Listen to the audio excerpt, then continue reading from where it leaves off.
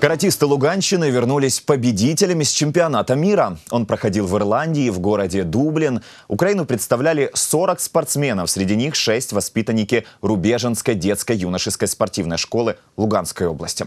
По результатам мирового первенства они завоевали 7 наград. Как им это удалось, узнавали корреспонденты UATV. Залог успеха – правильный настрой. Каждая тренировка начинается с медитации и разминки.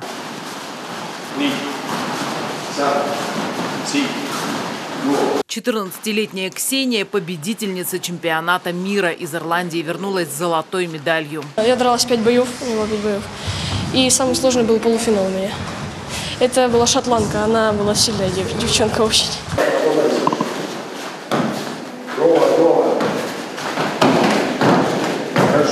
В ближайшее время Ксения надеется сдать норматив и сменить коричневый пояс на черный. Каратисты его получают за высокое мастерство. У Данила уже сотня медалей. Последняя с чемпионата мира. Вместе с двумя напарниками заняли второе место. У меня дядя спортсмен тоже, и мне хотелось тоже иметь медали. Мне это нравилось.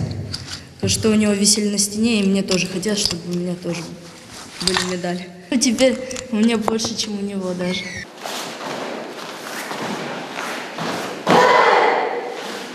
Тренер чемпионов Александр Дорошенко сам вспоминает о своих первых тренировках. В начале 90-х не было специальных залов и тренеров. Занимались в подвалах, э, как-то так по... Э, не то, что там даже видеокассет не было, даже книг не было, по фильмам там тренироваться пытались. Уже в армии там э, так довелось заниматься рукопашным боем, и уже это немножко дальше двигало.